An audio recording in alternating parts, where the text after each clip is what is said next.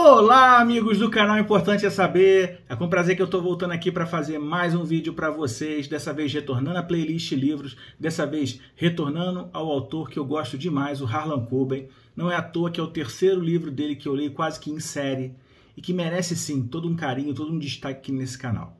Mas Antes de falar do Harlan Coben do seu novo livro, eu queria pedir aqui, para quem não é inscrito, se inscrever no canal, deixar o like, compartilhar. Isso ajuda demais a gente a estar tá postando novos vídeos, a estar tá crescendo no YouTube e a estar tá aqui sonhando, quem sabe um dia, ter uma grande mídia digital aqui e trazer muito conteúdo para vocês, tá bom? Então, voltando aqui a falar do livro, gente, hoje eu quero falar desse livro aqui, O Menino do Bosque, de Harlan Coben.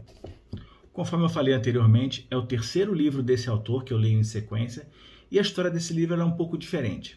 Ela vai contar a história de Wild, um menino que há 30 anos atrás ele surgiria numa floresta, perdido, sem pai, sem mãe, sem nenhuma referência do seu passado.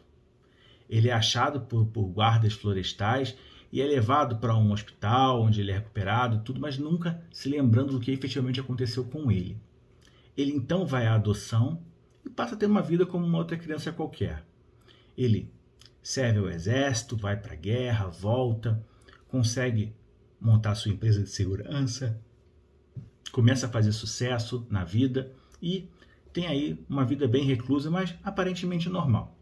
Em paralelo, ele é chamado a por um, uma pessoa a tentar de alguma forma ajudar na busca por uma menina que tinha sido teoricamente sequestrada ou desaparecida não se sabiam ainda o que tinha acontecido com a Naomi.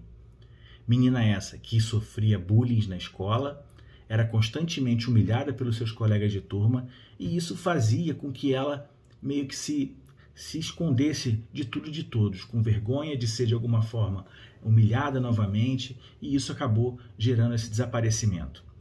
Ele começa a investigar e, pela sua capacidade de ter, sempre se virado sozinho numa floresta, de ter conseguido sempre viver sozinho, ele tem uma habilidade muito grande para achar pessoas desaparecidas. E é com essa habilidade que ele acha Naomi. Tudo é explicado e aparentemente o livro parecia que iria se acabar. Mas aí, em paralelo, surge um outro desaparecimento na mesma escola da Naomi.